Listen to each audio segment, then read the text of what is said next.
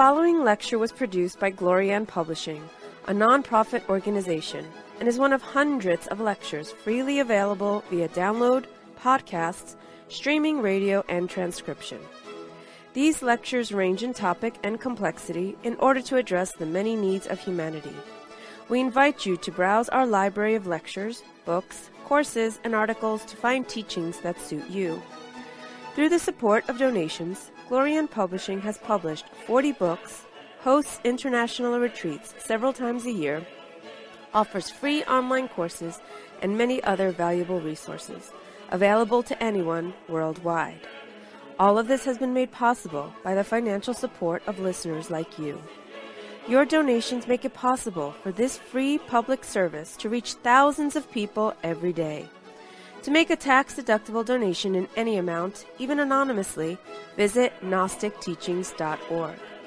Now, with heartfelt wishes for the end of suffering for all creatures, we begin the lecture. May all beings be happy.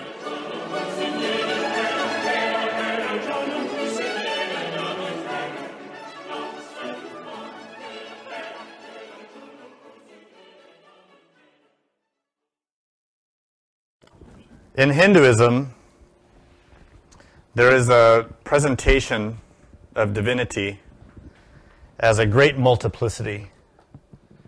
Some would call it a system of polytheism, but this isn't entirely accurate. When we look at the term polytheism, we see that poly means many, and theos or theism is related with theos, which is God. So many people interpret polytheism as meaning many gods. But really, a more accurate explanation of, of Hinduism would be to say monistic polytheism. And monistic would be unity. Because really, Hinduism views divinity as one, but with many faces, many forms. So, really, monistic polytheism is a more accurate way of describing Hinduism.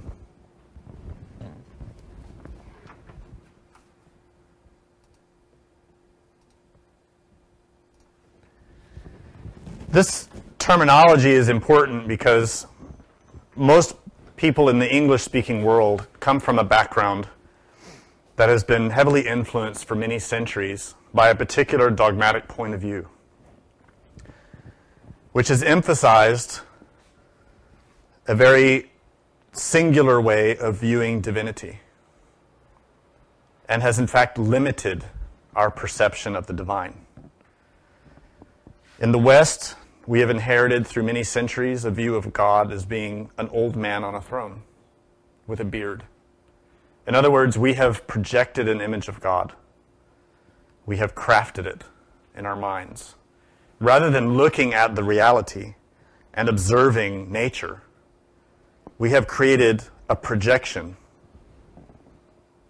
in which we invest belief. And this tendency contradicts the basic tenets of every religion, which is to not worship an idol, to not form an image of divinity. That basic tenet of not forming an image is not merely a behavior to be followed as a dogmatic principle, but is instead a guideline to open our eyes to reality when we project an image, when we form in our mind a concept, we limit our vision to just that concept. We compare our experiences, our perceptions with that concept. Instead of seeing what is there, we only see what we want to see. And this has been the cause for religious wars, for conflict, for persecution, for all manner of suffering on this planet. In Gnosis, we emphasize the importance of revising our concept of God to understand that polytheism really should be understand, understood as the many parts of God, the many faces or aspects of God, the many ways in which divinity can be experienced. And really, viewed from that angle, religion and divinity becomes much more magical and much more real, much more accurate, much more truthful.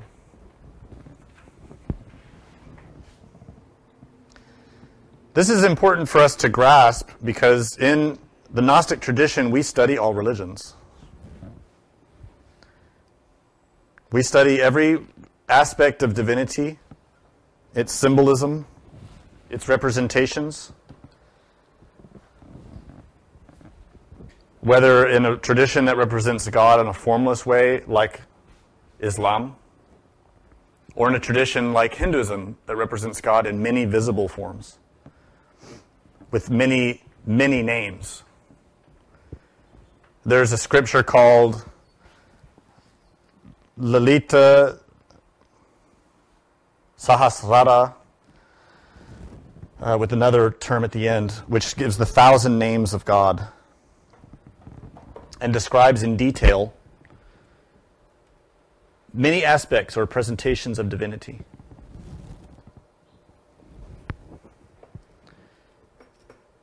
Unfortunately, in the West, we've not adopted this point of view as seeing God in everything. We see instead this projection of our minds.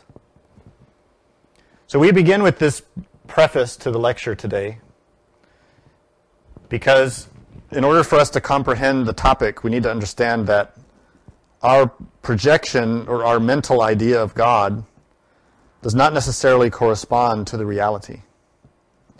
It's important that we revise the beliefs and concepts that we've inherited in order to truly comprehend, to truly experience divinity.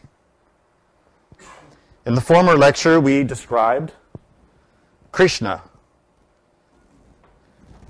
as presented in the ancient scripture, the Bhagavad Gita. And we discussed how in that scripture, Krishna, which is a Sanskrit term meaning black, describes the ubiquity of Christ. That Christ is everything, is in everything, and everything arises because of that. The name Krishna is used in Hinduism, the term black, to relate with space, with infinity, with that which is impossible for the mind to comprehend. It is black to our eyes. It is something we don't see. Krishna is Christ. And in that beautiful scripture of the Bhagavad Gita, Krishna displays to Arjuna his form. And Arjuna is overwhelmed with the incredible complexity and beauty of God. How Krishna displays the infinite variety of forms through which he manifests in the world. And Arjuna is overcome with devotion and inspired with love and great vigor to do the work he must do. In that scripture, Krishna states, I, Christ, am the Father and the Mother of the world. And as we explained, many people only limit this concept or presentation of Krishna to being a man to being a person. And many even reduce him down to being baby Krishna, limiting their mind to the perception of what Krishna truly represents. Krishna states, I am the father and the mother of everything. This is not just a man or a baby, this is the infinite, the everything. By saying father and mother, Krishna in this scripture is revealing the ultimate secret to all creation, which is also hidden in the Bible, especially in those first words of Genesis that we've covered so much in the lectures and books. That God is not masculine, but is Elohim, which means gods and goddesses. It means a plurality that is a unity. It is a multiplicity that is united as one. And this understanding is present in Judaism in its roots, in the presentation of Kabbalah. And it was once the root of Christianity, but it has been divorced from the modern tradition. God as polytheistic, or as many, is Krishna, who displays those many forms. And we've talked about Krishna as Christ, but today we'll talk about Krishna as Ma. Ma is a universal syllable used in every culture, in every city, country, continent. Ma is the mother. In every part of the world, this syllable, ma, is used in some variation to represent mom, mother, ama, uma, mama, the mother. And from our point of view as a child, when we first emerge into a, a body, who is God to us but the breast, the hand, the smile, the whisper, the caress, the hug, that protection that we receive in the arms of the mother. That is Ma, that is God to us as a child. As a child, our first experience of divinity is our mother. Is the love and protection, the care, the nourishment, the education we receive from our mother. Ma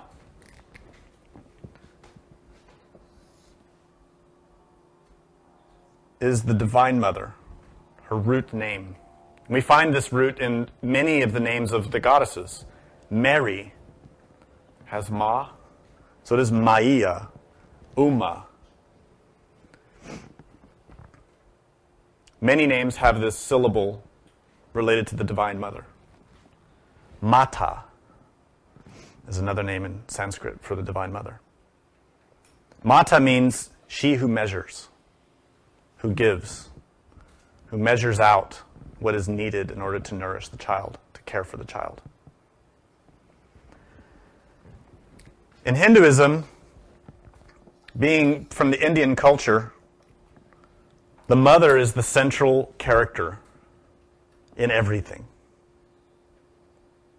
In Asian culture in general, but especially in, in Indian culture, both modern and ancient, the central figure culturally is mother.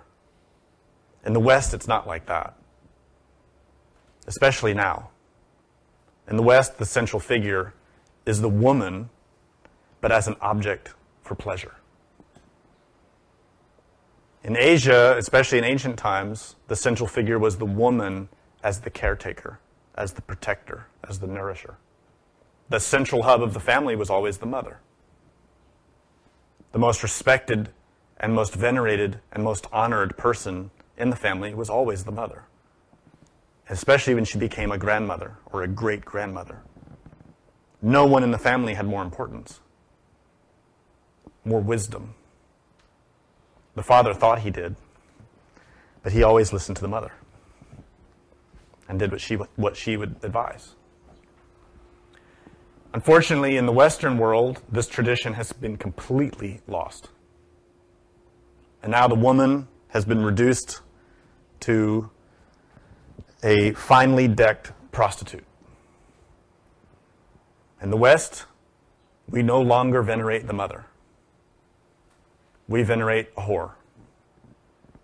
The entirety of our culture is focused on propping up women as gratification for the senses visual, tactile. It is now very common to find 10, 11, and 12 year old children that dress the way prostitutes dress. The primary influence on fashion for women today is the way prostitutes were dressing yesterday. This does not represent anything to do with divinity. Instead, it is a clear symbol of the degeneration of our culture. the loss of our moral fiber, the loss of the mother as our central focus, our central center of gravity as a culture. Ma or Amma or Uma is Krishna. There is no difference. When we talk about Kabbalah, we always talk about in the first instant, when everything before there is creation, there is just the absolute space, the emptiness, what in Sanskrit is called shunyata. The absolute has no differentiating characteristic other than pure potentiality. It is the pure potential for something to be, but as yet is not. The absolute, when it first emerges into something, emerges as a light. And in every religion, that light is represented as Christ. It is Apollo. It is Krishna. It is the Ein Sof Or which means the limitless light. That first nothingness before the light emerges is represented in Egyptian religion as Nut. And Nut is always depicted as a naked woman stretching her body over space, and her body is made of the stars. She is space itself. She is the infinite. And this is why in the ancient scriptures of India it states, from the mouth of the goddess, before there was anything, I was. Before me, there was only me. So she is that. She is para Brahman, which means the absolute aspect of divinity, that which is beyond the beyond. This is something incomprehensible to our mind to truly grasp what that means. It is the level of existence in which there is not yet existence. In Kabbalah, it's called uncreated light. It is light that will become, but is not yet. In Sanskrit terms, there are many words that describe this level of nature. Some of the important ones are aditi, Aditi is a Sanskrit word that means the infinite consciousness. And Aditi in the ancient Vedas, which are the oldest scriptures in Hinduism, is described as the mother of the gods. Her children are the Adityas. And those are the solar gods. We know those gods now as Apollo, the god of the sun. In Hinduism, he's Surya, the sun god. Also in Egypt, Amun Ra, the sun god. Christ, the light of the world. Aditi is the mother of that. The space through which the sun rises and illuminates everything. First, the space was there. That is Aditi. Her other name is Adi Shakti, Adi Para Shakti. That name translates as the eternal limitless power or the eternal limitless energy. That is space. It is the pure potential of becoming, which is a force or energy in nature. The other name that we often use for the Divine Mother is Mula Prakriti, In the previous lecture, we talked about prakriti.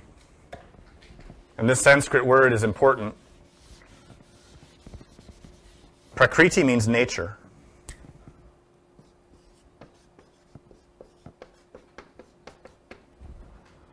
And in the Bhagavad Gita, Krishna describes two aspects of Prakriti a superior and an inferior.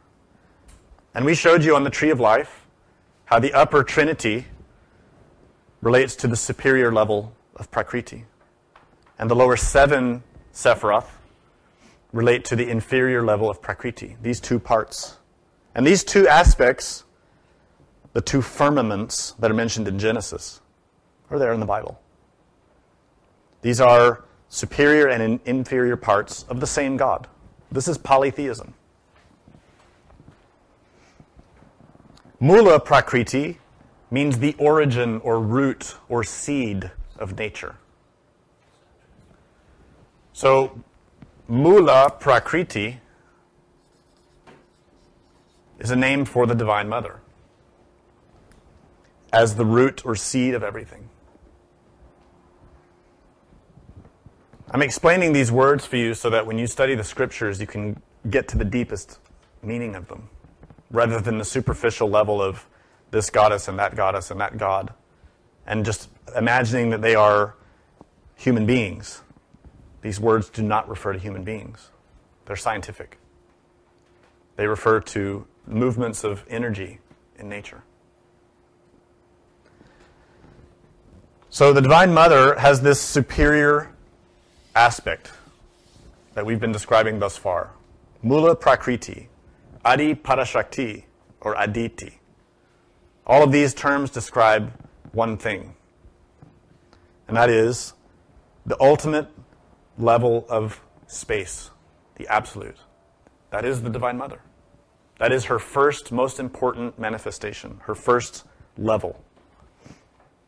In other words, everything that exists is because of her. Everything that is in potential to exist or that is existing is because of the Divine Mother. Let's state this another way God is not somewhere else, God is everything. Everything that exists hangs in the body of God. This is why this anthropomorphic concept of God is so foolish. Because it immediately puts us in a position of imagining that God is somewhere in heaven and is disconnected from our activity. And that is fundamentally not true. There is no distinction or difference. There is no distance between us and God.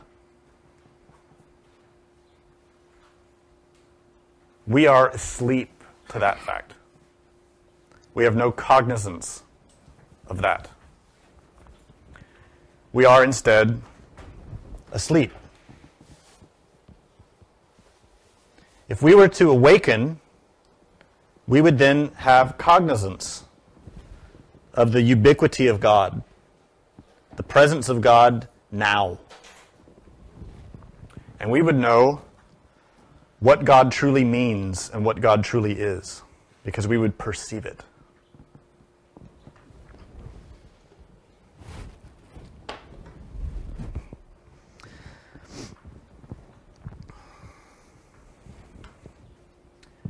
In uh, the Hindu scriptures,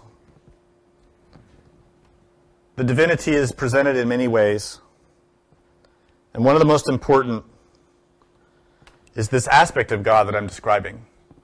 And it's often simplified with one term, and that is Shakti. Anyone who's studied yoga has heard this word Shakti.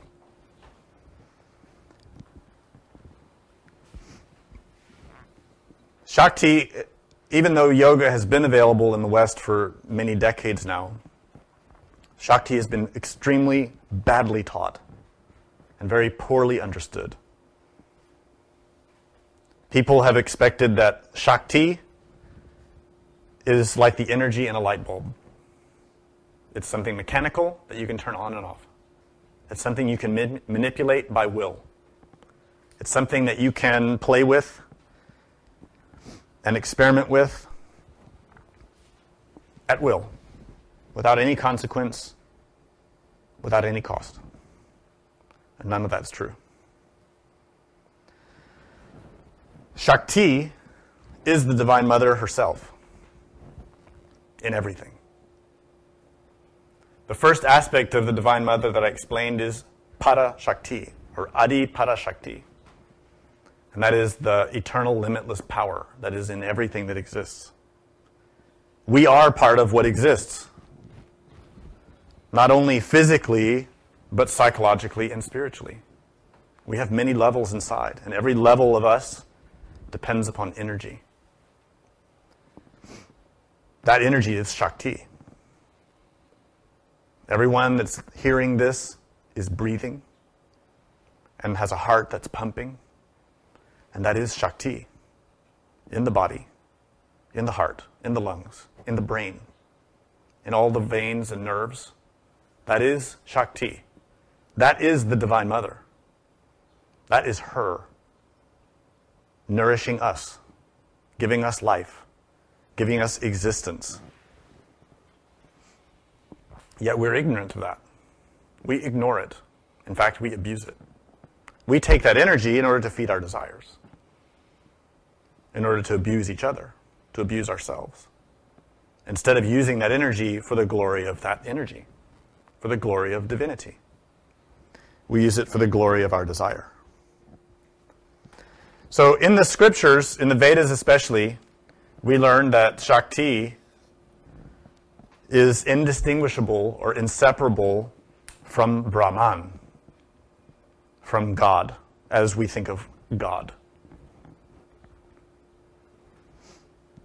In other words, God can only act because of Shakti. It makes sense. Even if we think of God just as a person with a human shape, in order for that God to act, there must be energy. And the energy that God uses to act is Shakti. That is the Divine Mother. The very power of creation is the Divine Mother.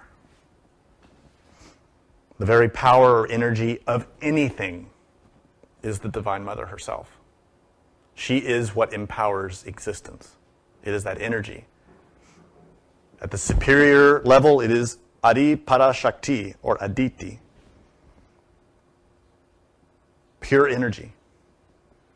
And down here in the body, it is Shakti in our three nervous systems that activates the physical body. It is the energy that flows through the four ethers of the vital body. It is the energy that flows through the nadis of the astral body and the mental body.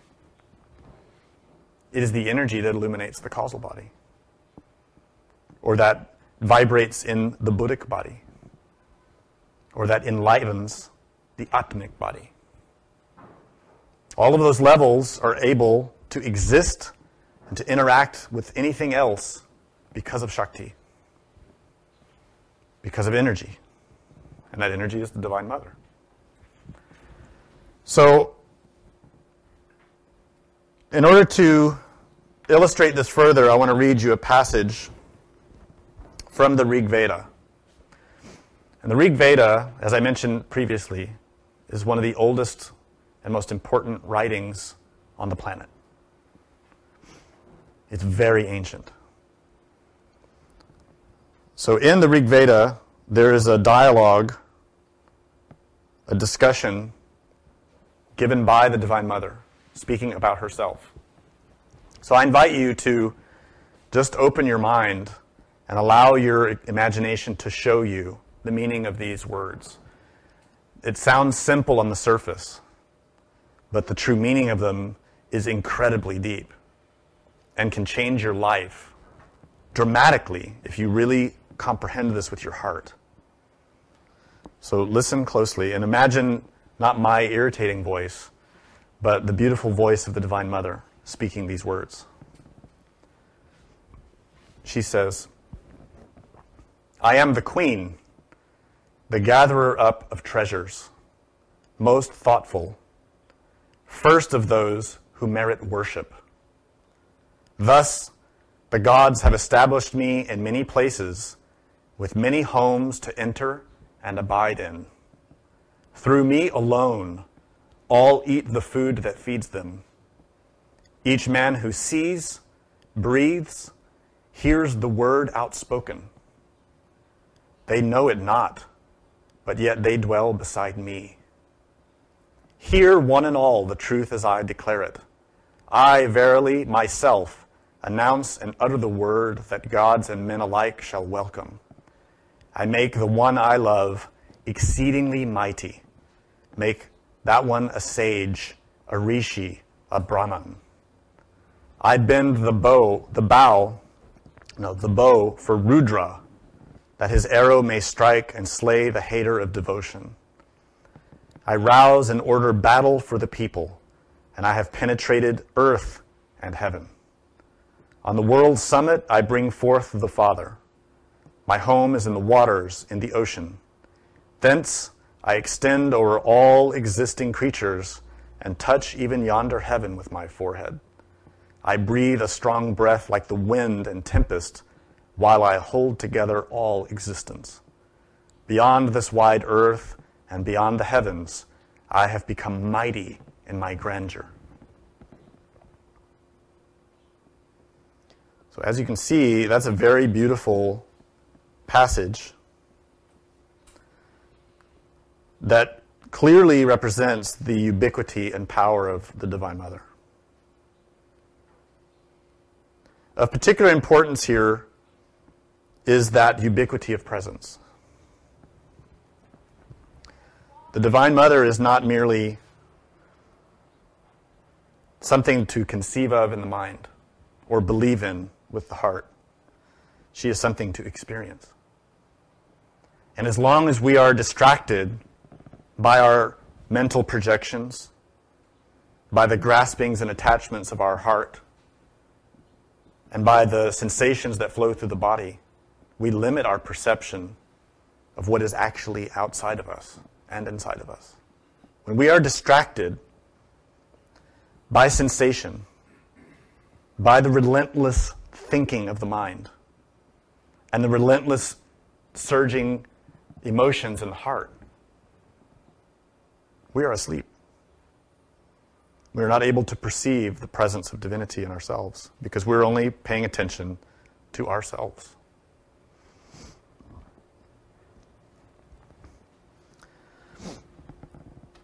Shakti is the same as Prakriti.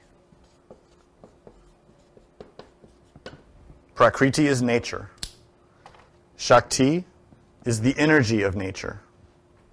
And as we explained in a previous lecture, Prakriti, or nature, has three modes of expression. Three ways through which energy or Shakti works. Those three are Rajas, Tamas, and Sattva.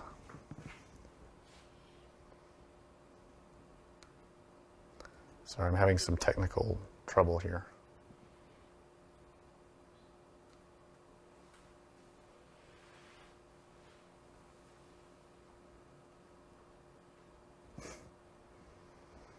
Really giving me a hard time. These three creative parts of divinity, or expressions of Prakriti actually, are called the three gunas.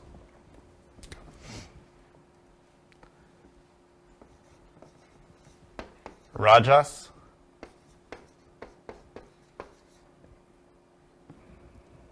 Sattva, and Tamas. These are the three modes of expression of the Prakriti. What this means is that divinity has laws or is managed by functions in nature that we ignore.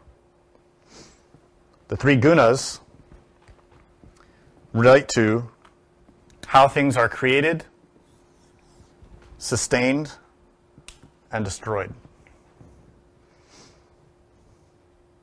And these three are represented in aspects of divinity as well the faces or presentations of God that are given in different religions. In Hinduism, we often hear about Brahma or God the Father. What we don't often hear about at least in the West, is that Brahma is only one face of God. And that divinity in India, in Hinduism, is commonly described as a trinity, just like in Christianity Brahma, Vishnu, and Shiva. So here we see these two trinities the three gunas and a trinity of divinity. It would be easy to assume that these three and these other three immediately corresponded to each other. That Brahma represents one, and Vishnu represents one, and Shiva represents one. And they do to some degree. But the reality is that God is not that simple. The absolute and its mode of expression, when it manifests into creation, is not as simple as kindergarten math. It would be lovely if creation was that simple, but it isn't. The truth is that these symbols, Brahma, Vishnu, and Shiva, represent very subtle manifestations of divinity at a very high level of existence. And those three are one. They are the three in one, like the Father, Son, and Holy Spirit of Christianity. They are the three of one, three in one, like the Trikaya in Buddhism. The Dharmakaya, Sambhogakaya, and Nirmanakaya. Those are the bodies of a Buddha. If you've studied Buddhism, then you understand that the Trikaya are the central, most important aspect of studying esoteric Buddhism, and also the most difficult to understand because they're so subtle. And in Buddhism, you study that Samantabhadra, who is the primordial Buddha, is the ultimate aspect of the awakened consciousness, which is what that term refers to. That term, Samantabhadra, or awakened consciousness, is exactly the same as Adi Parashakti, the ultimate limitless energy. And this is why Samantabhadra, who is also called Adi Buddha, is always represented in unity, in sexual union, with his female counterpart. These two aspects of divinity are one. In Hinduism, they are called Adi Buddha, Adi Shakti. In Buddhism, it is Samantabhadra, one, united.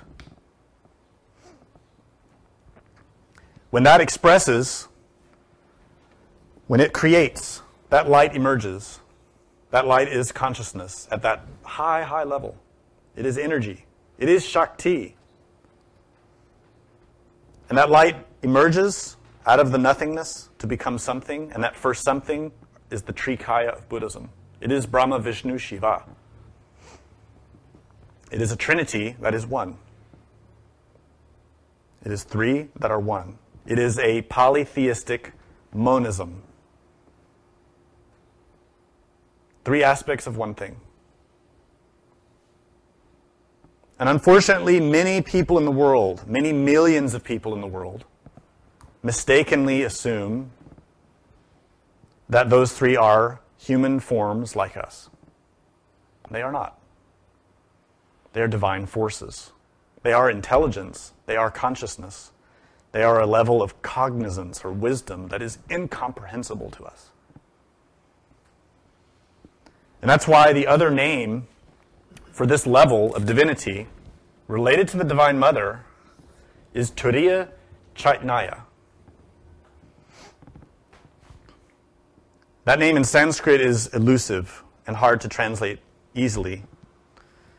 But the term basically refers to the ultimate level of awakened consciousness.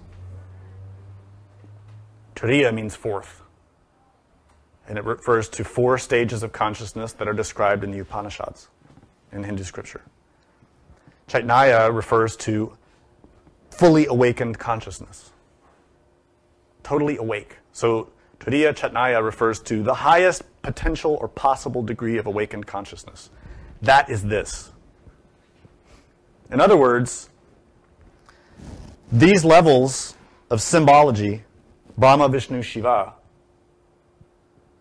refer to the highest potential for any human being to reach as a consciousness.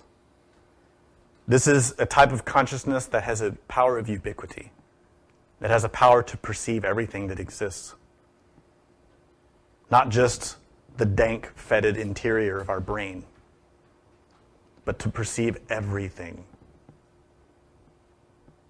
And this is why I was saying that the term Shakti has been poorly taught in the West.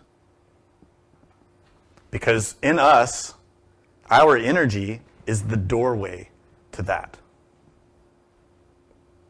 The energy in us, if used wisely, can open the doors to perceiving these levels of existence and experiencing that. The Samael Aun Weor called that level of awakened consciousness Turiya. And sadly, there are many people in the Gnostic movement who claim to be Turiyas, who walk around boasting that they've reached that level of attainment.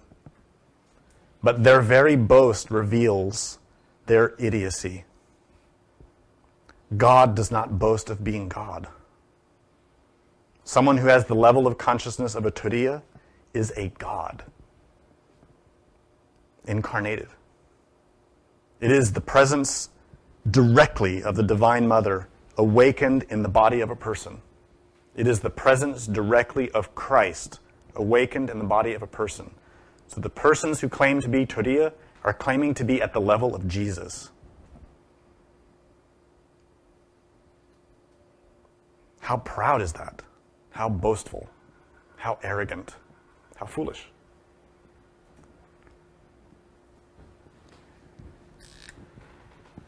Rajas, Sattva, and Tamas are the three modes of creation of Prakriti.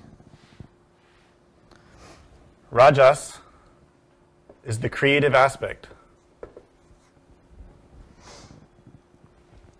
Sattva is the sustaining aspect. And tamas is the destroying aspect.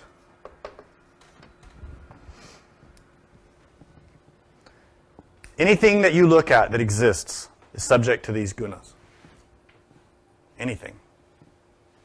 The most important aspect for us to apply this level of understanding is to our own body.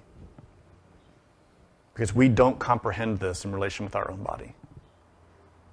We inherently, ignorantly feel that we are not subject to the laws of nature, that we will not die or that when we die, somehow magically our karma will be solved and we'll immediately zoom off to heaven, no matter what we did beforehand. No scripture in the world agrees with that. Our body is subject to being created, sustained, and destroyed. And who does all three of these? Who is responsible for the creation of our body? Well, we say it's our parents, and in some degree that is true, because our parents were the vehicle through which our body was created, and we were given a house to inhabit. Do you remember in the scripture, the Rig Veda said, The gods have given me many houses to enter in and dwell. Those houses are our bodies. And you remember Jesus in the gospel stated, In my Father's house there are many mansions? Those mansions are those bodies fully developed, awakened, in heaven, not here. The one who creates the body is the Divine Mother because she is nature. The bodies of our parents belong to nature. The sexual process that creates that fetus is a process of nature. It is the science of creation that is the domain of the Divine Mother, who gives birth to everything. And everything that is born is part of her body. That body is sustained because of her, because of Sattva. She is the one who sustains us. She provides us food. On the most crude materialistic level, it is because Divine Mother is nature. Remember in the Rig Veda, she says, Everyone who eats does so because of me. So every time you eat, your divine mother is feeding you. Not only as because she is Gaia, she is Ge. In the Greek mythology, she is the earth who nourishes us. She is Diana. She is Hera. She is the goddess of nature, of the bounty. She is Mata, she who measures out, who feeds. And because of that, we are sustained. We sustain life. But what people don't realize that she is also the taker of life. She is also Tamas, the destroyer. Because all nature is a cycle. Another foolish concept we have in the West is that line of time that we imagine that things are always getting better and going up and up and up and up and up. That is a concept. It is just a philosophy that has absolutely no basis anywhere in nature. Nothing in nature continually ascends. Nothing. Everything in nature goes in cycles. Our breath, our heartbeat, our digestion, the movement of blood in the body, the rise and fall of night and day, of the lunar cycle every month, of the rotation of the earth, of the seasons, the rising, sustaining, and dying of every creature that exists. Those are all cycles of nature, mechanical, that just happen. There is nowhere in nature that you find a continually ascending elevating line of development that never stops. It does not exist except in our putrid imagination. There's no scientific evidence anywhere for that. Time itself is not a continual line. Time is not what we think it is. We are mistaken. Physicists and mathematicians know this now but the public is several hundred years behind science. And several decades or what do you call it uh, eons behind spiritual science.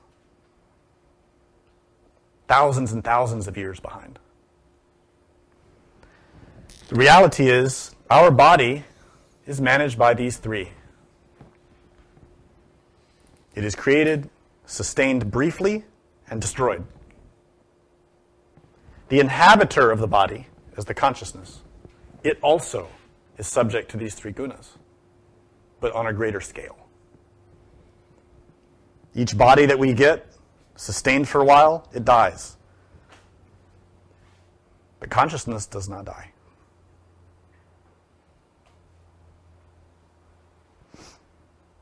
Anyone who studied Einstein knows what he stated energy cannot be destroyed.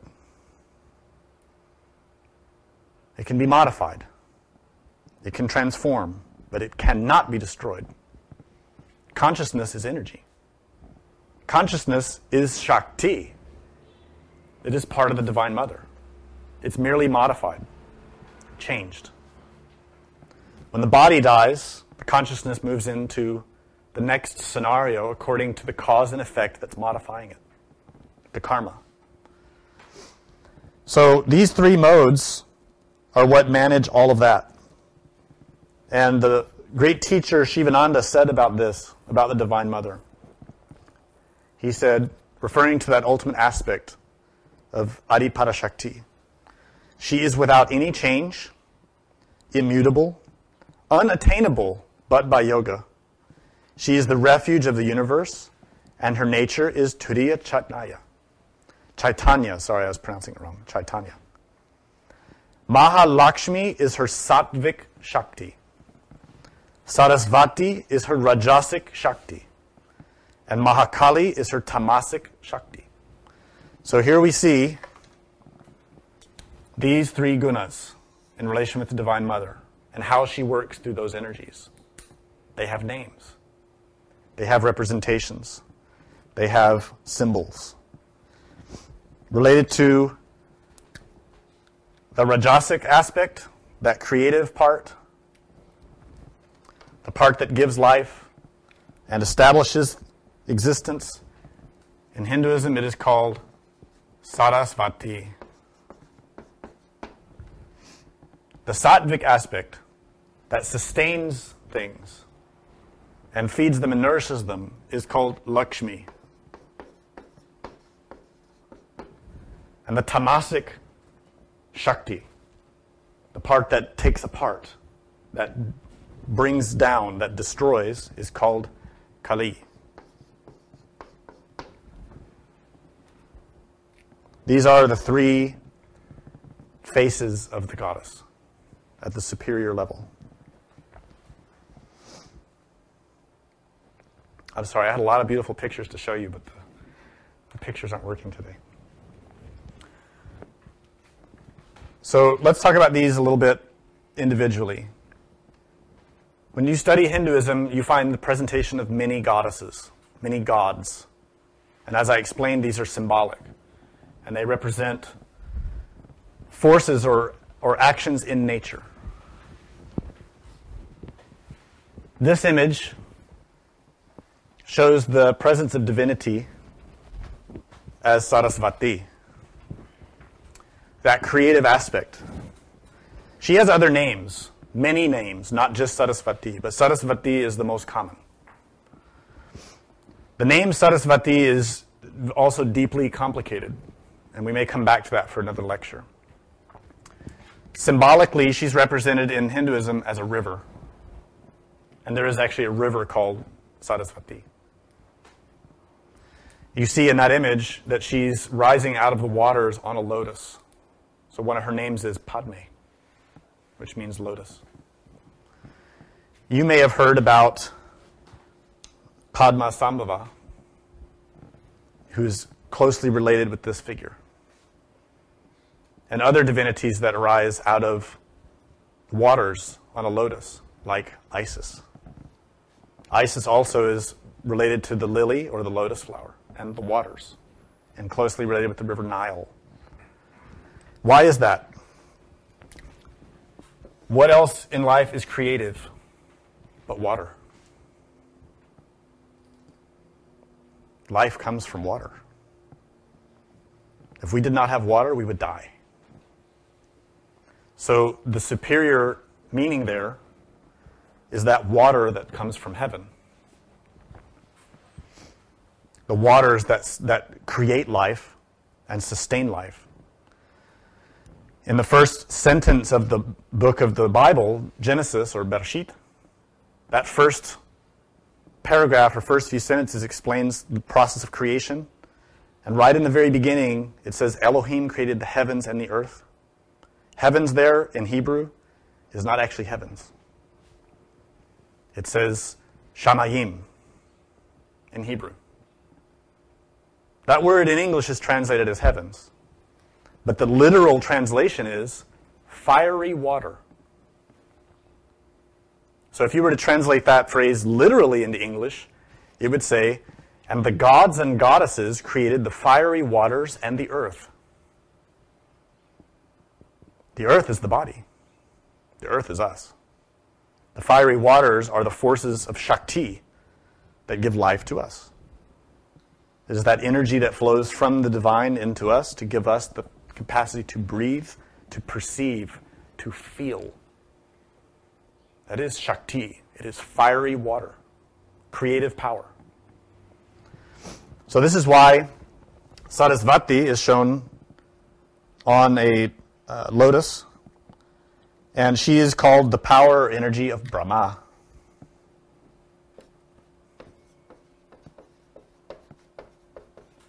Brahma means the ultimate aspect of God. Related to Christianity, would say Brahma is the Father, the Creator. In Kabbalah, we call this Keter. So if you look at the tree of life, Brahma Sarasvati is the male female androgynous presence of God that first emanates from the Absolute. It is the Creator. It is the Dharmakaya in Buddhism. It is that presence of God that first emerges as the Ancient of Days. Sarasvati is the energy of that, the Shakti, that allows Brahma to create. The next aspect is related with Vishnu, and it is called Lakshmi.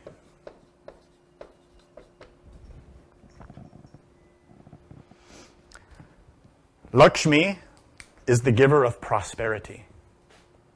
So if you see any Hindu images of Lakshmi, she is a beautiful goddess, usually with gold coins flowing out of her hands. Is Lakshmi in that image also? Oh, that's her in the middle? Yeah, the coins, yeah. They mix up the representations often. So Lakshmi will have that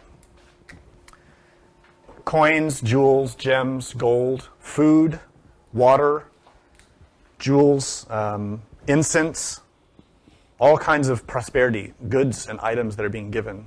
And of course, being the human beings that we are, we have made that image or symbol of the divine into something that we pray for when we want to get rich. And so if you go to India or visit any, anyone in the Indian community, you'll often find images of Lakshmi that they're praying to all the time so they'll have money. That's fine. But that's not really what Lakshmi represents. Lakshmi represents the prosperity that's given to the soul, the nourishment and sustenance that's given to the one who's truly seeking to have yoga with the divine. And Lakshmi is that ability. Lakshmi is the one that sustains the body, that gives us life.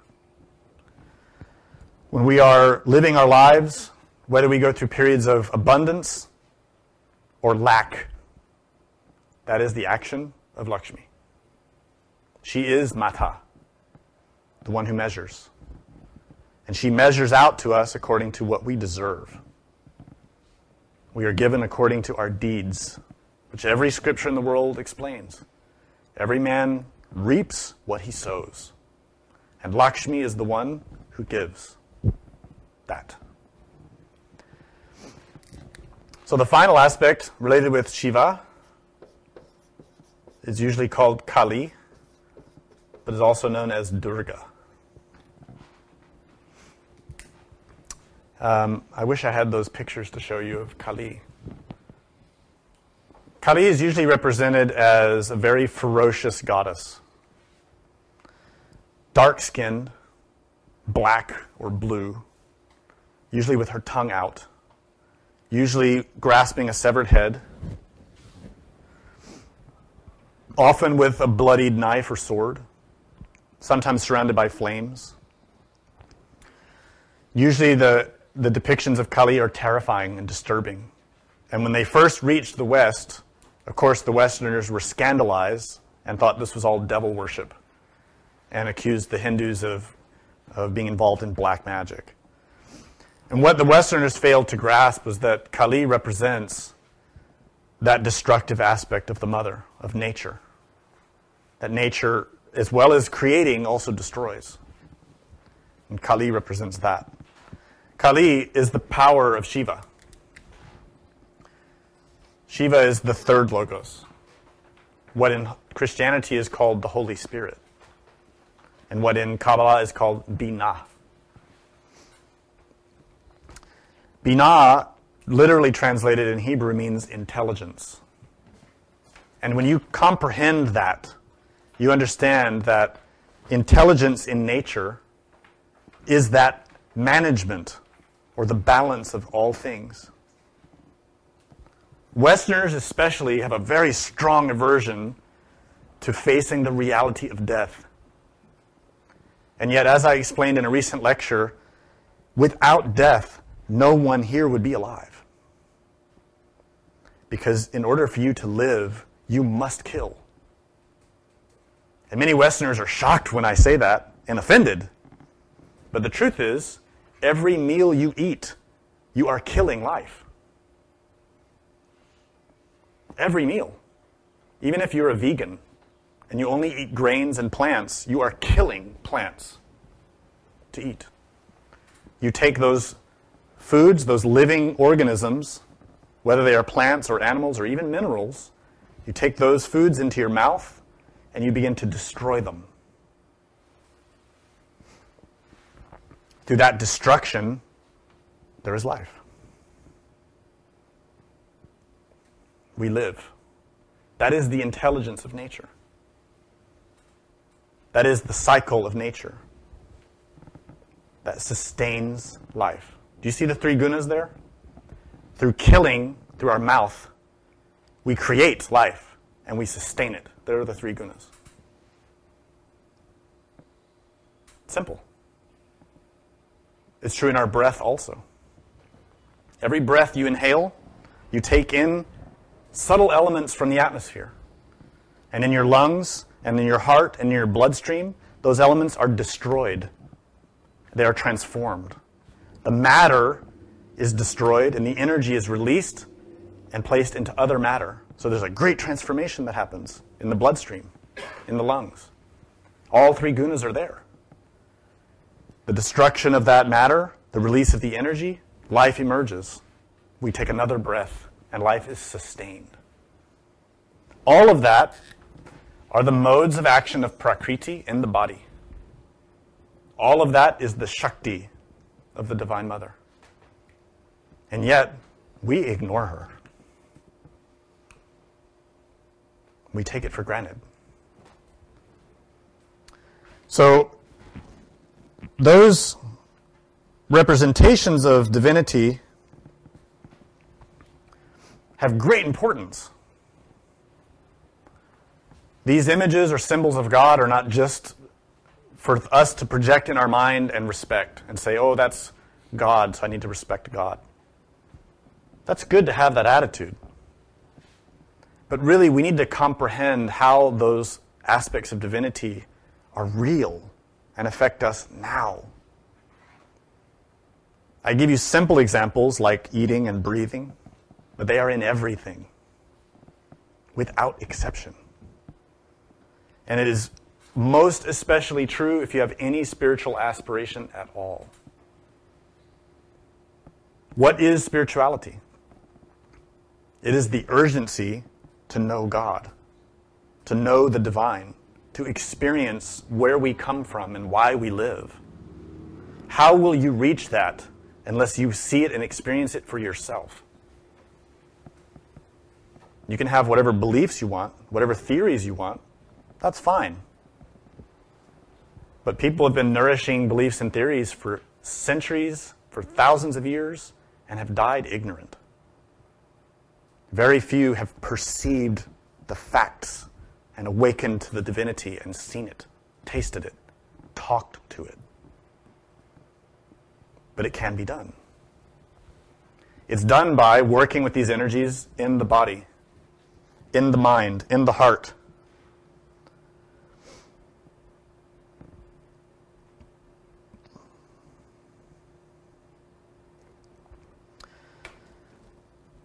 Samael Aun Weor explained the Divine Mother in a variety of ways.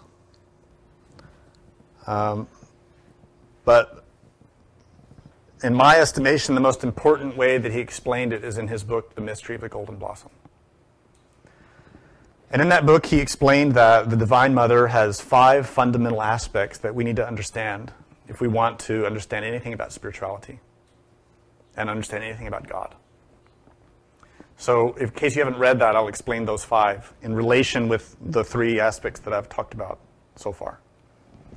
The first aspect he explained was the unmanifested Divine Mother, who is the Prakriti, that absolute aspect of space. We call it the absolute or the Ain or Ein Sof or Ein Sof Or. That is nature in its ultimate level. The second aspect that he explained, he said, was what's represented in religions as Diana, Isis, Tonantzin, Maria, or Ramio.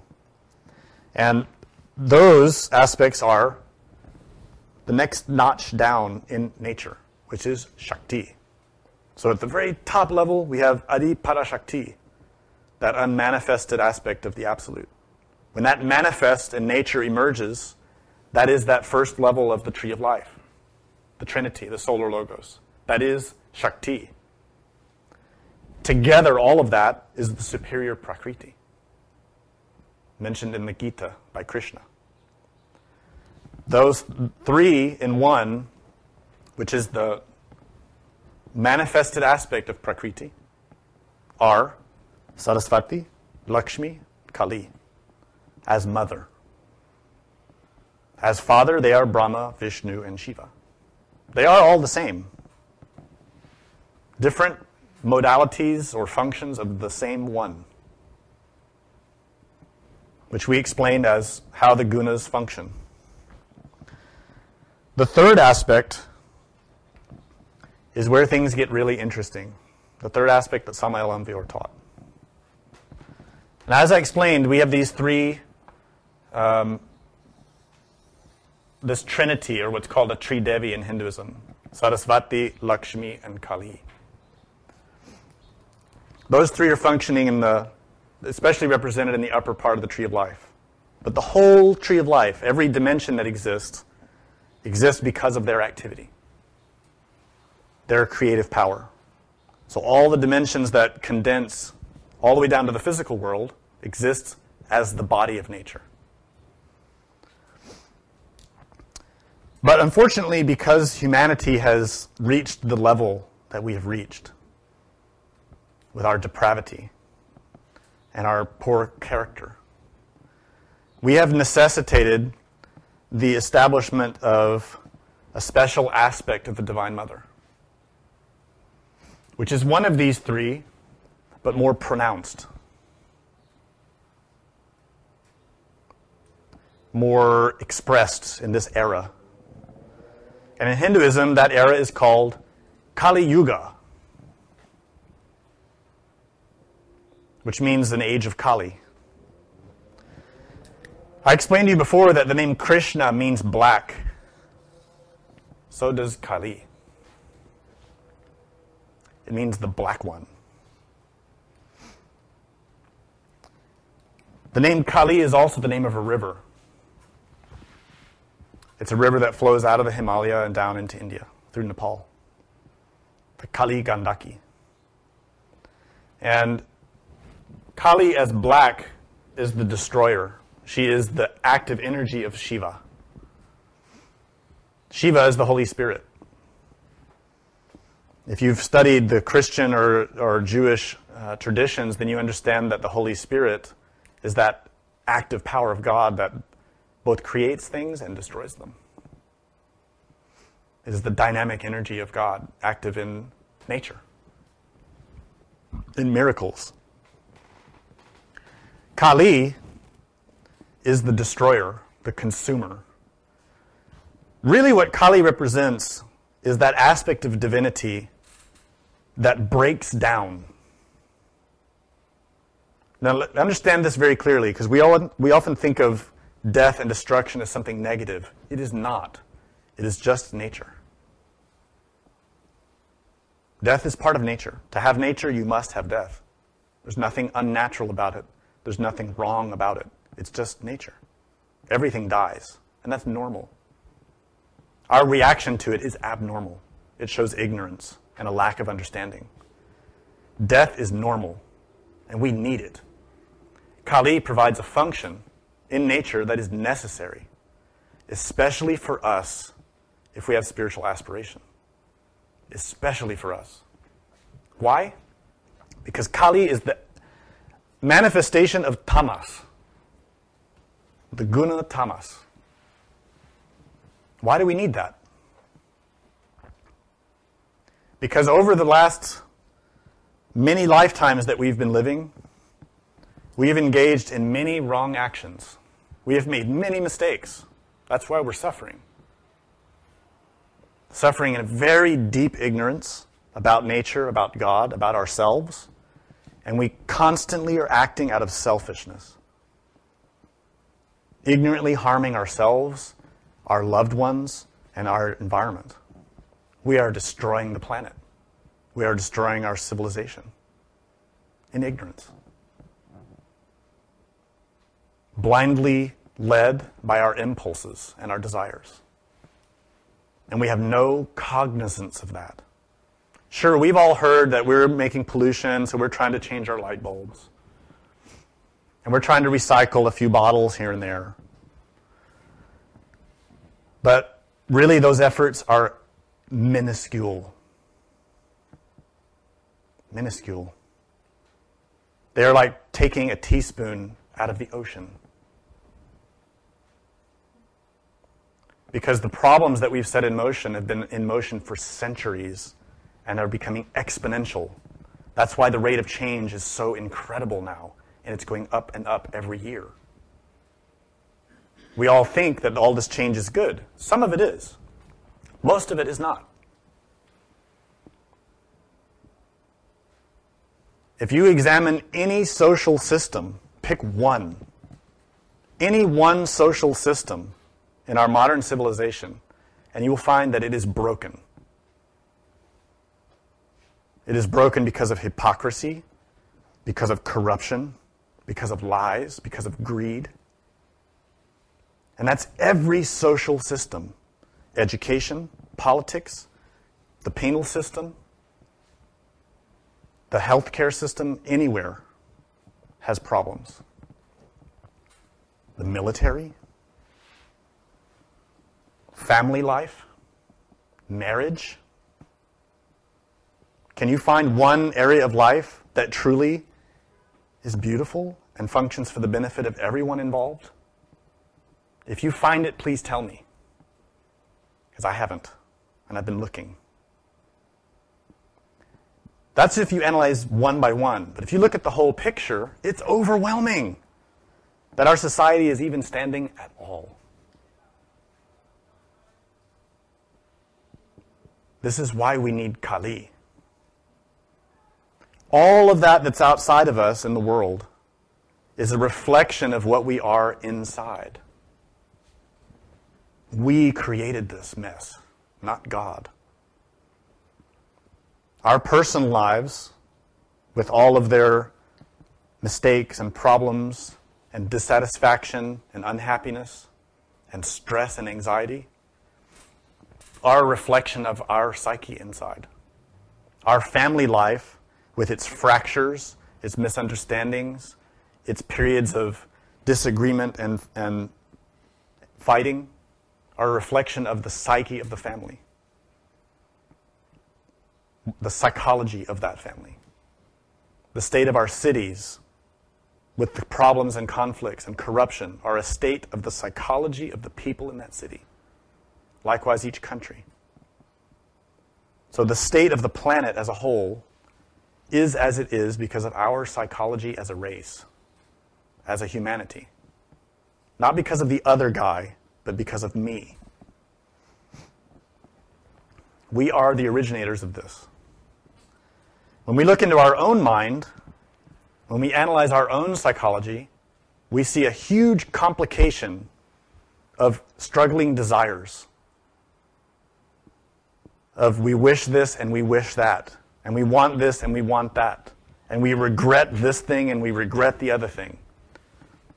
Many surging desires and anxieties and memories and longings and no contentment. Suffering in varying degrees. In other words, in Gnostic psychology, we explain we are not an individual, we are a multiplicity of competing desires. A true individual is united with one will, and that is the will of the divine acting through us. We don't even know that God exists. We doubt that God exists, even being spiritual people. We might think that God exists, and we might want to believe it. But when we don't get what we want, we get mad. That proves we do not know God. If we knew God, we would be perfectly content with whatever God gives us, whether it's suffering or bounty. Because we would have the contentment of a heart fed by God. Look at the saints, the apostles. Look at Arjuna, Rama, Job.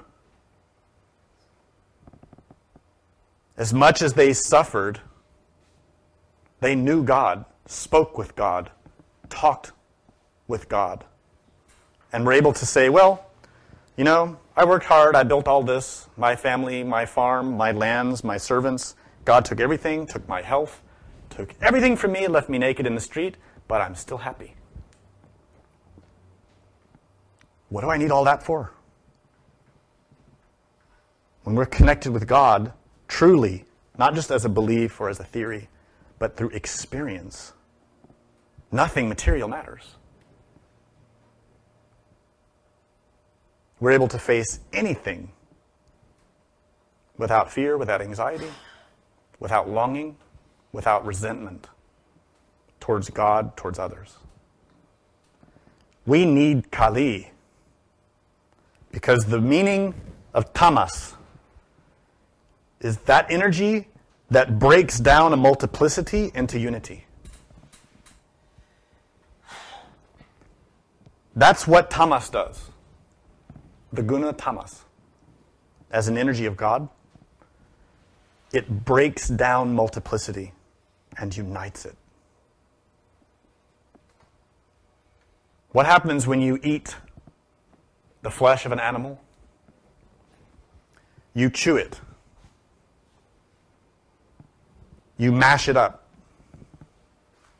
It goes into your stomach, and the acids of the body attack it and begin to take that complex structure and reduce it down, to break it up into all its separate parts, and to extract the most essential elements. That is Kali. That is her intelligence. She is the one who does that. We need that spiritually, psychologically. We need to analyze our pride and digest it. We need to chew it. We need to break it down. We need to destroy the trash and extract what is important out of it. What is important out of it is comprehension, knowledge, understanding. Who is that? Lakshmi. We need to engage in the process of the three gunas spiritually. In the same way that we digest food or convert air into life, we need to convert our psychology into spiritual life. The one who does that is the Divine Mother, especially through Kali. Kali Ma, Durga, in Hinduism is most commonly represented slaying a demon on a lion. She rides a lion and she has many arms and a great spear with which she kills a demon. Who is the demon?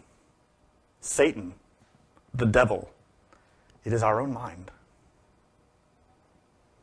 It is not a force outside of us. It is ourselves. It is the demon we have made through our mistaken actions, through our mistaken thinking, our mistaken feeling, and our mistaken uses of the body. That is Satan. It is our own mind. And the one who slays that is Kali Ma, Durga. That's what we need. That's why we need the Divine Mother, but especially Kali. So Kali is why, this is why Samael Aun Weor pointed this out as a special aspect of divinity. Kali is the queen of the infernos. In the Greek mysteries, she's represented as Hecate or Proserpine, Persephone. She is the divine mother who once wandered through the gardens of divinity, but became entranced by a flower, by sensation, and thus was captured by Hades and brought into the underworld, and then forced to live there as part of a cycle of nature. That Greek myth represents how our own inner divine mother, because of our mistaken hypnosis of sensation, psychologically and physically, became trapped here in hell, in our hell, the hell of our karma, cause and effect. We need to liberate Persephone. We need to liberate Kali. So he points out two additional symbols related with the Divine Mother, which are the Divine Mother nature in our bodies, the creator of our body, the creator of what we are. And that aspect of the Divine Mother is the personal reflection of the superior Divine Mother. Just as there is a Divine Mother for all of nature, we have our own nature. We are a microcosm or a reflection of the universe. That's why the Greeks said, Man, know thyself, and you will know the universe. That universal Divine Mother is reflected in us as an individual Divine Mother. That means we have our own individual Divine Mother who has been our individual Divine Mother for eternity. Always has been, always will be. She is a particle of the universal Divine Mother. But she is our Divine Mother. She is our original creator. She is our sustainer. And she is our destroyer. Moreover, she not only is that in that level in our heavens as our own individual divine mother, but she reflects herself once more as the fifth aspect of the divine mother that Samael pointed out, which is that Shakti in the body and in the mind. That is the fifth aspect of the Divine Mother that Samael Aun Weor explained. That energy that gives us every impulse and flow of energy in us in every level. Right now, that Shakti is what's allowing us to listen. It's what's allowing us to either be daydreaming and fantasizing and distracted, or to actually be comprehending the importance of this type of teaching whether we are feeding our ego and building more asleep tendencies, or if we are struggling to awaken, that is the energy of the Divine Mother that facilitates it, modified by our will. So now that we've talked about those five aspects, I want to point out something very specific about these three gunas in relation with our spiritual development. It was explained in the quote that the Divine Mother is the capacity for any creature to experience anything. That every man who eats, who breathes, who hears a word is in her presence because she is the Shakti of nature. So in Hinduism, that is symbolized by Shiva lying on the ground and Kali standing on him. So, what you see is the prone figure of Shiva, motionless and still. And standing on him is Kali, active. That symbol is very common in Hinduism, especially in Hindu Tantra. It's seen a lot, but very rarely is it fully explained and understood. And if it's explained, it's usually talked about in, in uh, philosophical terms. These, these symbols are not merely given for debate or philosophy, they were given for us to use practically. So let's understand what this means practically. Shiva is the third logos, Binah. When Shiva is is uh, symbolized in repose or inactive, it represents two things. First is that God is powerless without the goddess. This is what I was explaining previously that in order for God to act, there must be energy, and that energy is Shakti. Shiva is the god of, the, of Hinduism that creates and destroys. But without Kali, he can do nothing. The other name for Shiva, he has many names, but one of his most important names is Kala. And his spouse, naturally, is Kali. So this is the equivalent of Shiva Shakti, Kala Kali. Same thing. The difference is Kala and Kali have an important connotation. This is Kala. This image is from Tibetan Buddhism. It, it represents this guna, tamas. So, what you see here is a ferocious aspect of divinity that destroys. The name Kala literally means time. And just immediately you can know right there, true, time is a destroyer. With every click of the talk, click of the clock, I always mess that up.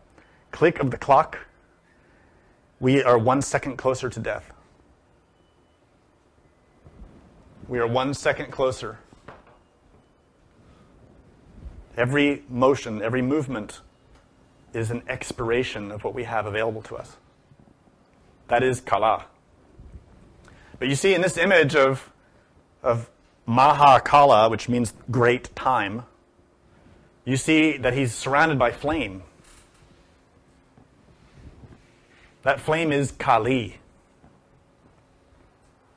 his spouse, his consort, without which he can do nothing. The only way that Kala can act is with that force in an activity.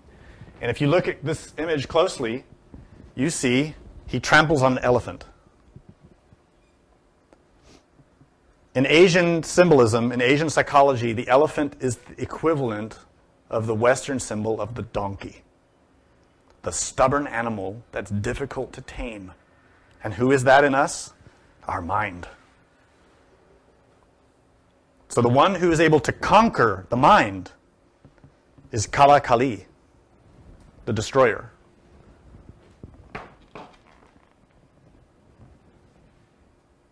The reason this is important is that fire itself. I explained to you that the Divine Mother is the energy in everything. The Divine Mother is the very force of existence. We are alive because of Shakti. But it's important to understand a, a very, very critical distinction. Shakti is not one energy. It has an infinite variety of modifications. And all those modifications are everything that you see that exists, and everything that you don't see that exists. Our body is being sustained and living because of these three gunas in us, which are the Shakti of the Divine Mother. We are alive because of her, in us. More specifically, if we want spiritual life, we need to comprehend this symbol of Kali standing on Shiva. What this symbol represents on a deeper level is that Shiva in us is inactive. And it's true. Does anyone here know Shiva? Talk to Shiva? Did Shiva send you an email? Or did you talk on the phone? Or when you woke up from bed, did you say, hey, Shiva, good morning? Or better, better said, did Shiva say good morning to you? Shiva in us is inactive. In other words, that capacity of knowledge, because remember, Shiva is Binah, intelligence. That is cognizance of nature. That is prajna, the most superior level of knowledge that exists. That level is not in us. It is static. Static, flat. Any kind of energy, if you study science, we talk about two main forms of energy static and kinetic.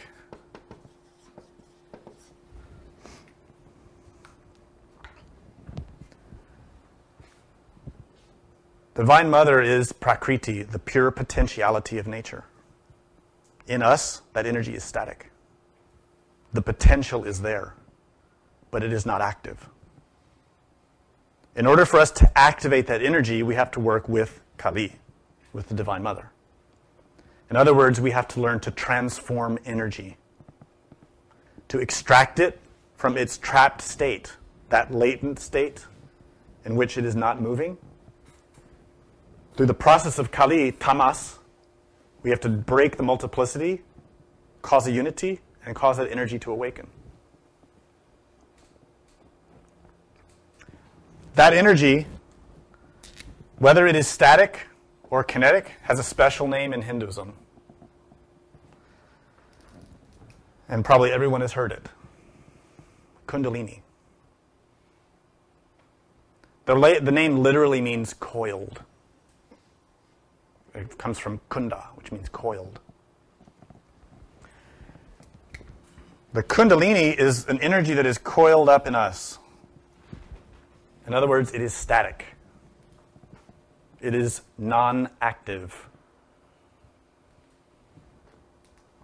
There are many people, many groups, many yoga schools, many spiritual movements that talk about awakening Kundalini. And they teach many different types of techniques and practices, and they talk about bhakti yoga and raja yoga, and they talk about different kinds of meditation and mantras and all kinds of practices that you can do to awaken your Kundalini. None of them work if you ignore the Divine Mother. And that's why so many people have gone into these groups full of faith, full of hope, full of enthusiasm, and tried and tried and tried and leave disappointed. Because they never work with the Divine Mother inside. They are attempting to force the Divine Mother to do something that she will not do unless we deserve it. In other words, to convert her power in us, which is now static, into kinetic energy, we have to earn that. You can do a mantra a hundred billion times, and you will not awaken that energy if she does not want it awakened in you, because that energy is her. It is the universal mother, particularized into our individual divine mother, latent and waiting in us. You cannot outsmart God. And everyone thinks they can. If you pay $500 to a certain school and they teach you these secret techniques and you do this and that, they'll promise you that you'll awaken your Kundalini in two weeks or six months. And they're lying because they want your money, or they want power over you, or they want to be famous, or whatever it is they want. The Divine Mother rewards her true disciples. You don't have to belong to any group, any school, follow any master but your own inside. And she awakens the one who deserves it. And she awakens us through her energy made kinetic in us. And that energy rises up the spinal column and awakens us. That energy starts at the base of the spine in the Muladhara chakra. Chakra just means wheel. It's a place where energy is transformed. That energy can only be awakened by a very precise application of knowledge. It cannot awaken accidentally. There are other kinds of energy that can awaken accidentally. There are many energies in the body. There are many tools and devices in the body that scientists and doctors have no clue about. Those can be activated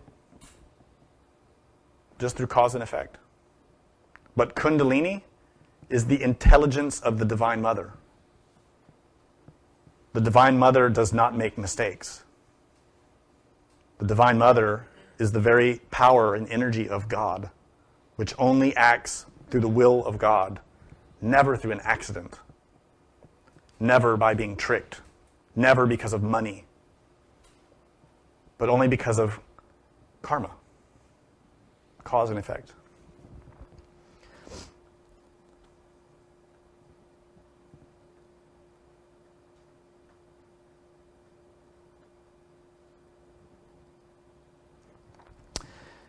There's a quote from an important scripture from Hinduism that I want to read to you uh, in order to emphasize the meaning of this. And it's also spoken from the point of view of the Divine Mother. She says this I am of the nature pervading every moment. So whatever actions are performed at any moment are equal to taking my vows and festivals.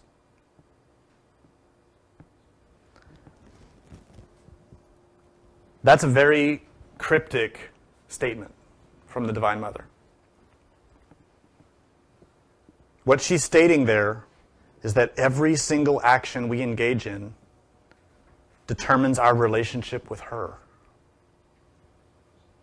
What it means is it is possible to come to know her, to be guided by her, to have experience of her, even if you don't know all the mantras and mudras and different uh, prayers and rituals of Hinduism or Buddhism. You don't need to know all that stuff to experience your Divine Mother. What you need is cognizance of her. If one has moment to moment cognizance, awareness, a remembrance of the Divine Mother here and now, she immediately responds to that. Always. And this is easy to understand. Anyone who's been a parent, especially a mother, will know this. You feel your child. You sense the needs of the child. A mother can sense the needs of a newborn, can feel what the child feels. Well, if you imagine that that feeling also exists in a divine mother who is an awakened power of nature, that feeling must be greatly enhanced. Our Divine Mother senses and feels absolutely everything that we feel and do, without exception.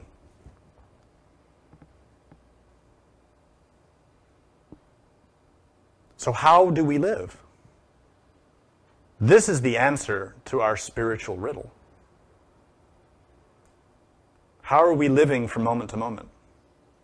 Do we remember her? Do we perform our actions in remembrance of the presence of our Divine Mother? Do we measure our thinking and feeling and impulses to act in proportion to the remembrance of her in each moment? We don't. That's why we suffer. That's why we don't know who she is. That's why we don't have the Kundalini awakened. In his book, The Mystery of the Golden Blossom, Samael Aun Weor also explains that the Divine Mother is a very exacting guide, extremely precise. One can be a perfect Gnostic, or a perfect Hindu, or Buddhist, or Christian, following every single guideline perfectly. But she will not awaken in that person if they forget her. She cannot. She will not awaken in a person if they are treasonous towards God, towards others. In other words, she won't awaken in her positive aspect. Kali has a very special importance, which I explained. Kali as the as the enactor of the tamasic Shakti. Kali is the destroyer. Someone who learns this science about awakening consciousness and transforming energy learns how to work with energy in a very potent and direct way. And as I mentioned, the, the critical aspect here is psychological. It is to be changing our behaviors, not just externally, but internally. Changing our relationships with ourselves and others, and especially with God from moment to moment. Nonetheless, this science is extremely exacting because it is the intelligence of the Divine Mother that guides it. So even if someone's performing all the external factors perfectly, they go to their group regularly, they help other people, they donate, they do all the practices they're supposed to do, they uh, are an upright citizen, they are a good householder, They are kind and respectful to others. But if they fornicate, physically or internally, if they commit treason, and by treason we mean something spiritual, which has many levels of application. If you commit a treason against your master, your teacher, your guide, if you commit treason against your innermost, your divine mother, you can be externally the perfect looking spiritual person. But internally, it's a different story. And you may not even know it.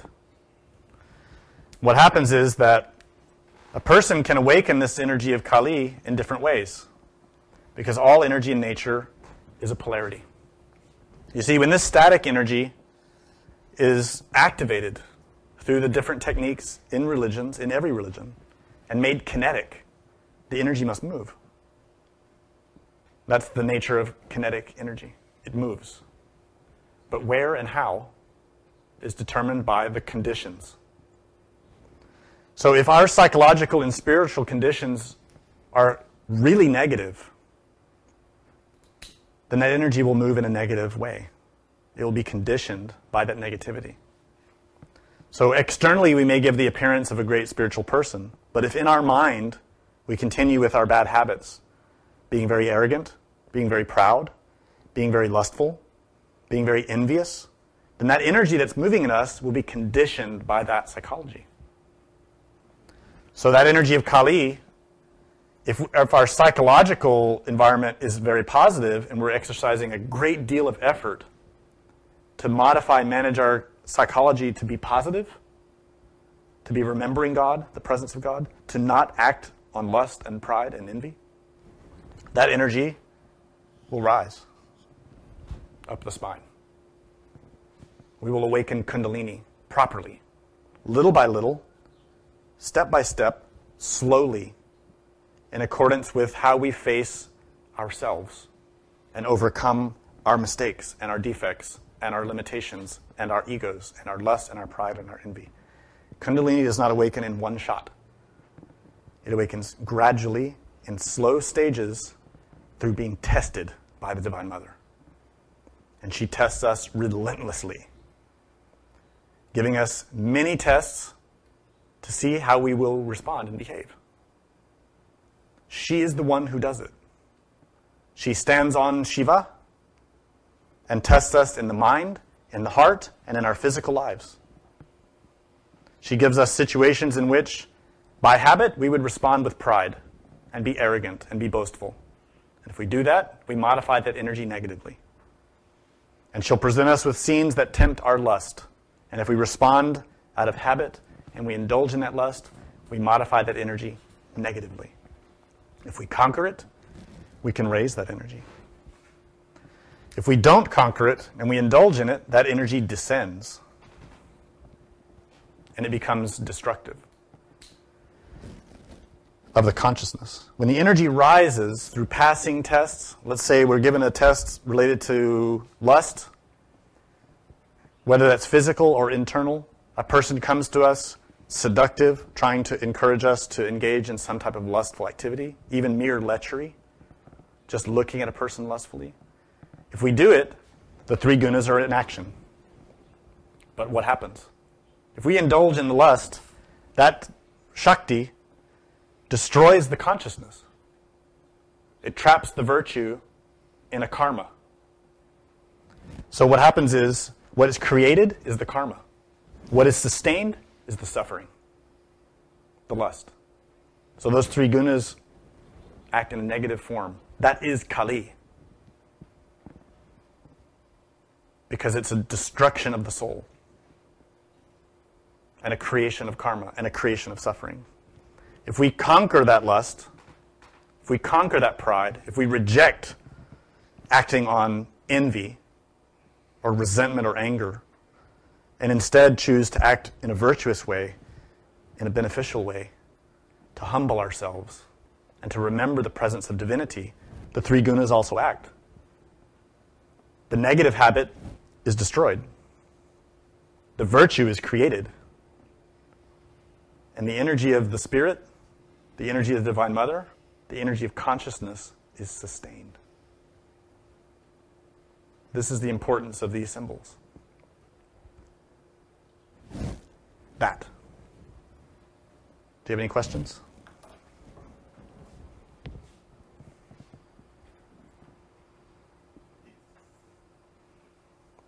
Good. Any back here?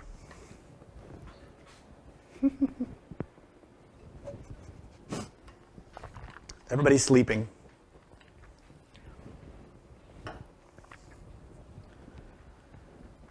Don't think that the Divine Mother is something separate from you. This is the huge mistake that everybody makes, is thinking God is separate. God is never separate from us. And the reason that I emphasize the Divine Mother so much is that she's more accessible to us. When we see the image of Shiva in repose, this is because the Father, the masculine aspect of that divinity, is more distant, more magnificent in some way, you could say. But when we need something, the Divine Mother is right there, always, and will give us what we deserve. So we have to earn it. We have to work hard in order to earn real spiritual development. It does not come easily. It comes through conquering oneself, purifying oneself. And the one who does the purification is Kali, according to our actions.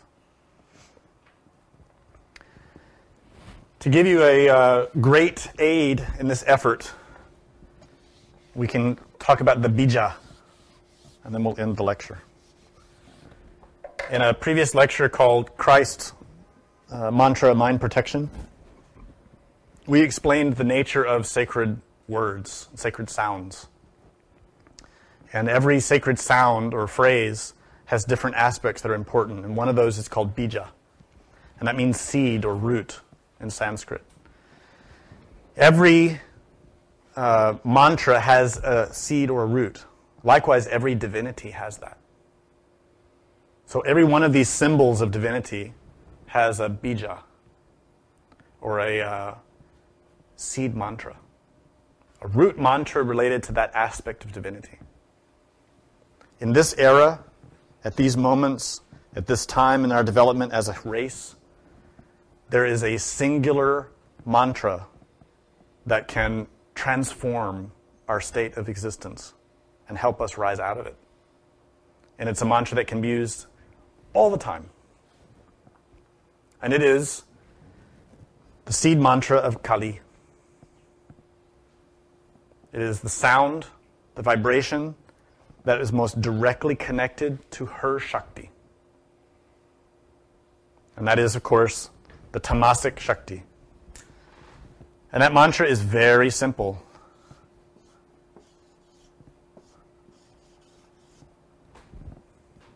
Krim. It's usually spelled K R I M, but that I in English has an E sound. Krim. That is the mantric vibration of Kali. Use it. Carry it with you.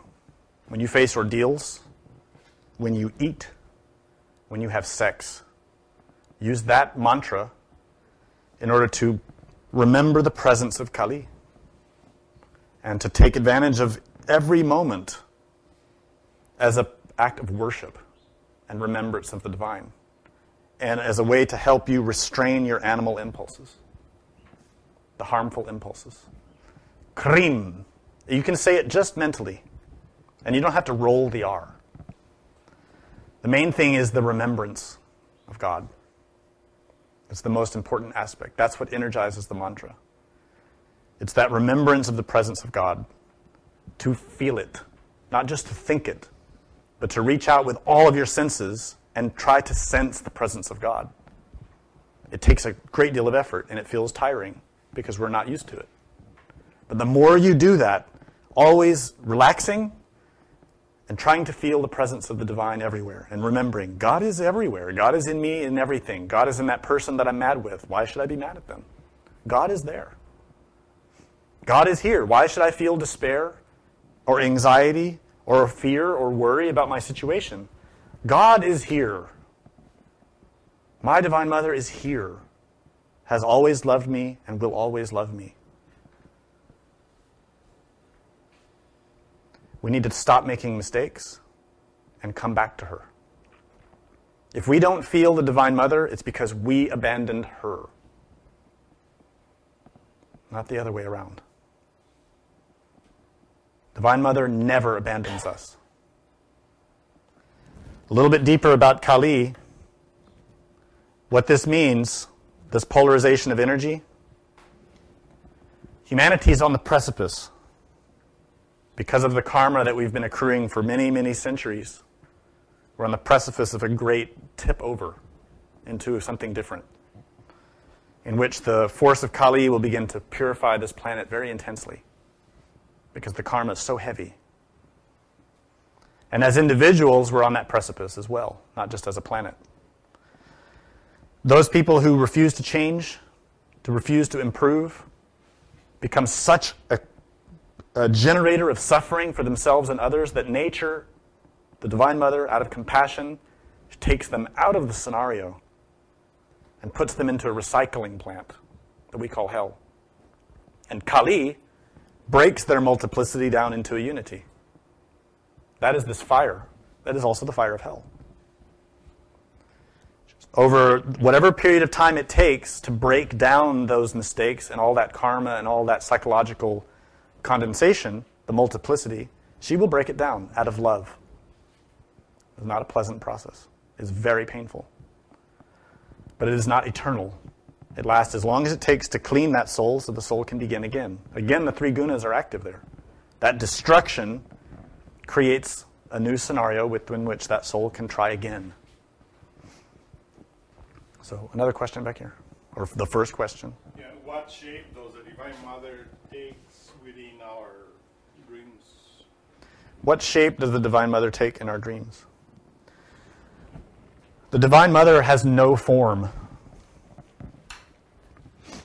The Divine Mother has no religion, but all religions. She has no single form, but has every form. She is formless. She is the energy of nature, the energy of all existence. But she can take form in order to help us. And she does that all the time, in many ways, not only psychologically, but even physically. If you've studied the Greek myths, then you've seen how the gods will take form and appear to the heroes, but often they don't recognize the gods. And we are the same way. Our own Divine Mother can take physical forms in order to aid us, but we never recognize them. But it happens. In dreams, the Divine Mother can also take forms, but she'll take different forms according to the message she's trying to convey. I myself, in my experience, have seen the Divine Mother appear in forms of many different pantheons or types of gods and other types of forms that she uses in order to teach me so that I will understand different meanings and symbols and things in relation with my life. She doesn't take a single form. She can appear as a man or a woman or other forms that are not directly related to human things.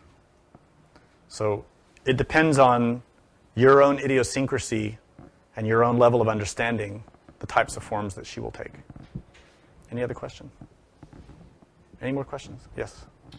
Uh, when you, why do you describe Kali as the, um, as the, right now the stronger power rather than uh, Raja, Sattva, and Tamas powers having equal power and in a cycle of constant creation and sustaining as well as destroying?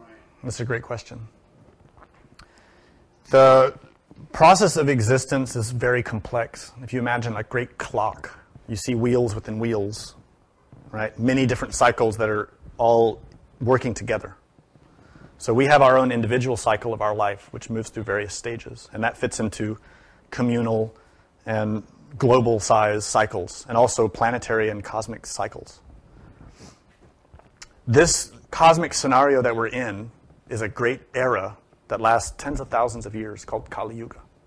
It's a very long process through which the whole cycle in this given scenario is undergoing a transformation. That is specifically related with Kali. And that happens with these other aspects of the gunas as well.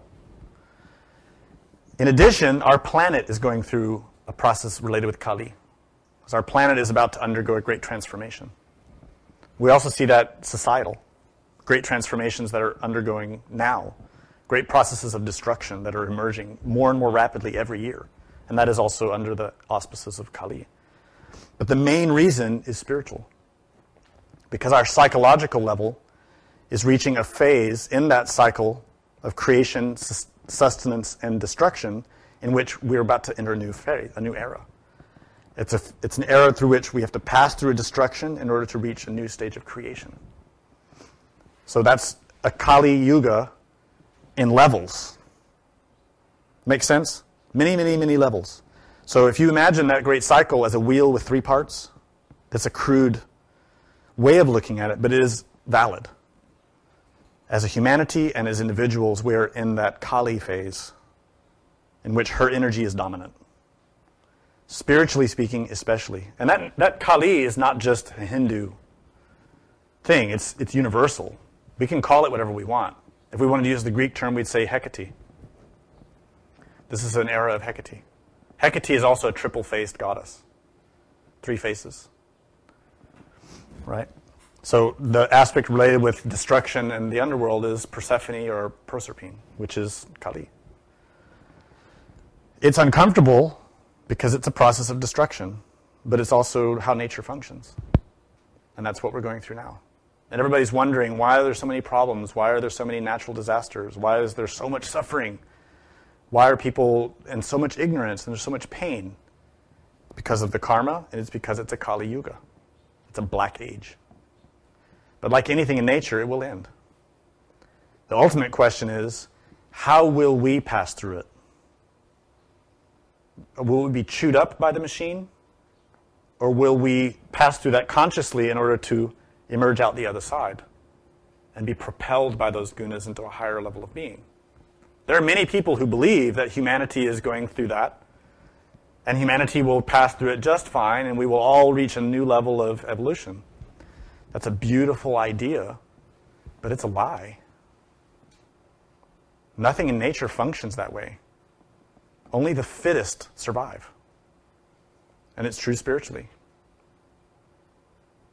A great tree will release millions of seeds but how many become trees? And the same is true of humanity. Humanity is a great seedbed with millions of seeds, but very few have the force of Shakti to kill themselves psychologically, like John the Baptist, to die, so that Elias can be reborn, so that the prophet can emerge. That is the process that Jesus represented on the cross, that John the Baptist represented, that all the prophets and saints represent through their process of death. That death must happen if there's to be resurrection. And the same is true for our race. In order for there to be an elevation of humanity, there has to be a great death where the impure is destroyed. We can't take our impurity to heaven. If we have our impurity, there can be no golden era. What prevents this from being a golden era is our impurity. So if we want to enter a new stage, a higher level of development, all of our impurity has to be destroyed. So that's the meaning.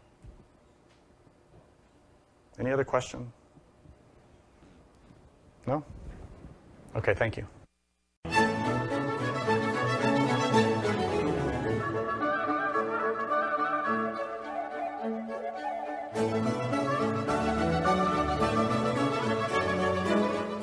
Learn more about what you learned in this lecture, we invite you to explore the books published by Glorian Publishing, available from booksellers worldwide.